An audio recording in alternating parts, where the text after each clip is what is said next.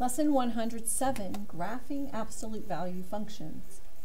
So we're going to start by just talking about what the parent function is for absolute values. The parent function is f of x equals the absolute value of x. Now if we want to graph this, um, if we pick numbers for x if we had negative 2, negative 1, 0, 1, and 2, then we figure out what y is by finding the absolute value of each of these numbers. So y will be 2, 1, 0, 1, 2. So when x is negative 2, y will be 1. When x, no, when x is negative 2, y will be 2. So negative 2, 2, negative 1, 1, 0, 0, 1, 1, 2, 2. So the parent function looks like the letter V or a right angle. So it has two arrows going in the uh, different directions. So this point right here at the point, so on our V, the bottom point is called the vertex. And the slope of one side is equal to 1 and the slope of the other side is equal to negative 1. So they have opposite slopes whenever we graph the um, absolute value functions. Now if you want a vertical translation, that means that you're going to translate or move it up or down. So to get a vertical translation, you're going to add or subtract a number to the absolute value.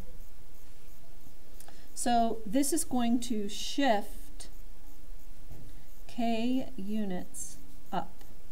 And if k is negative, it will actually go that many units down.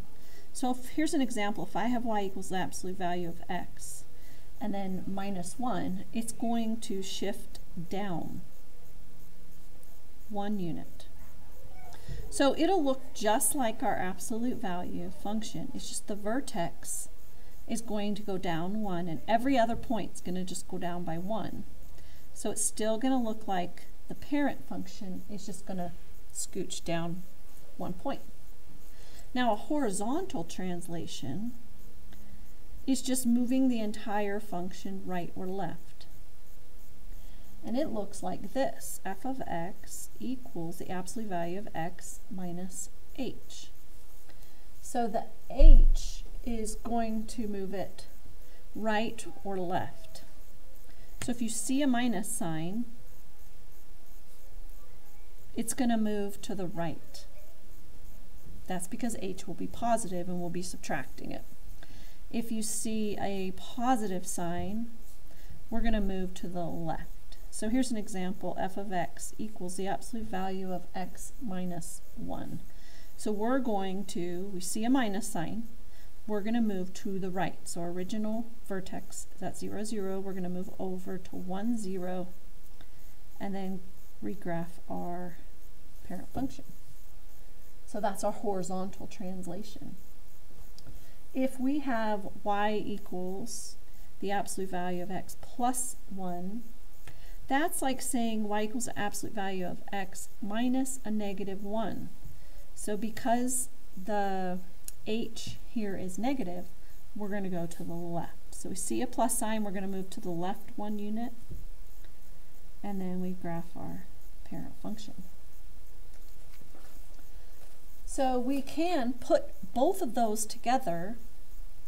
Here's another example. Graph f of x equals the absolute value of x plus 2 and your absolute value minus 1. So we're going to move left two units, and that's because we saw a plus sign and we want to move left, and down one unit.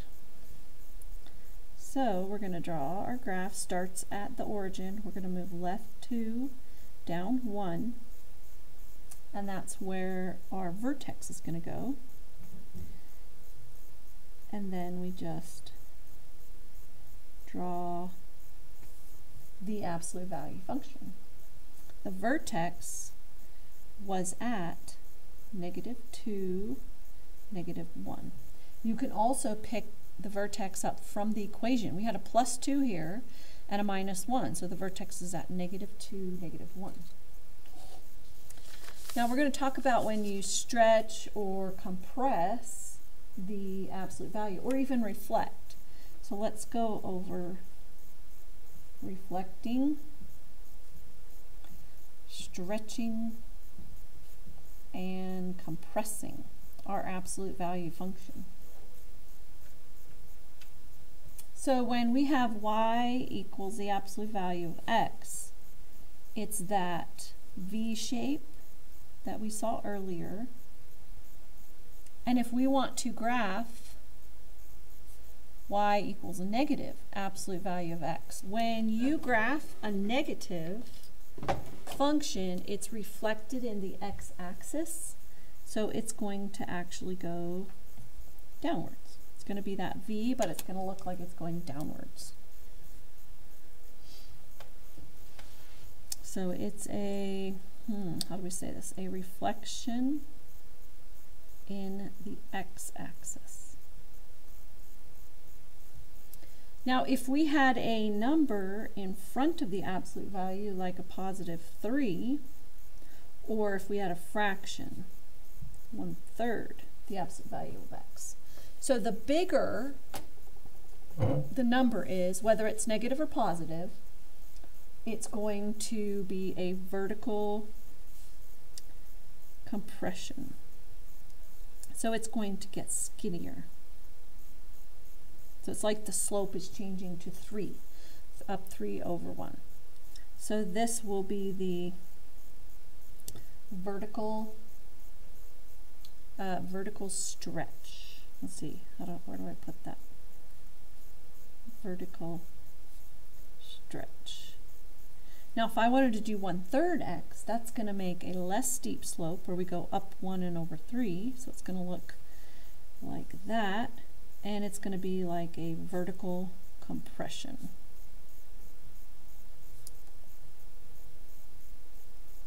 It's like pushing down on the y-axis.